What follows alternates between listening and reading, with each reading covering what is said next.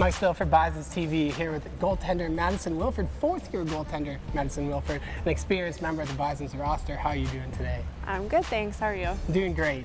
um, Madison, you've had the opportunity to practice and play with boys in the past, on boys teams in high school, and on some national teams. Just talk to me about those experiences. Uh, definitely every experience is a learning experience. And so uh, playing with boys was amazing because you uh, get used to a fast-paced environment, way harder shots, uh, definitely an exciting game to play. Uh, and the same with national teams. Took so much away from national team camps. Uh, had to write everything down in a notebook after every practice to try and keep it all in my brain and uh, met some wonderful people as well. So definitely amazing experiences.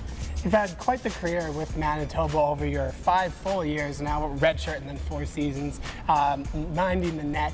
Um, I want to talk a little bit about the 2017 season because you came in uh, a little bit later on in, uh, to sort of help with uh, depth at the goaltending position. Justina was the number one, but then she was injured. Uh, and you were eating, I guess, a casserole or something on the sideline when this first happened? I was, yeah. So I uh, came in late in the season, just uh, just ready to ride the bench, right? I was just the extra spare. Justina had it locked down. Uh, so I was just hanging out, eating a casserole on the side of the game when Justina went down. And so Had jump up, get in there, uh, made a couple big saves. And so thank goodness that happened and didn't end up losing the casserole along the way. So uh, it was interesting, but it all worked out. We won the game. So very important stuff. Yeah. Most important, clearly, was not losing the casserole. Exactly. Obviously. Yeah. Talk to me about just being able to play at nationals and having that sort of bigger environment, uh, having everyone here at the University of Manitoba.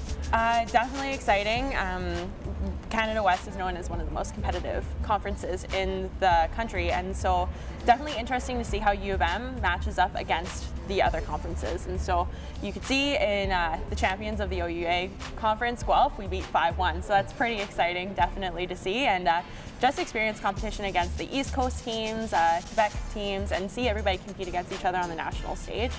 Really, really fun environment to be around. You're in your last season this year when you reflect on your uh, when you reflect on your time with the Bisons. Uh, what sort of stands out for you?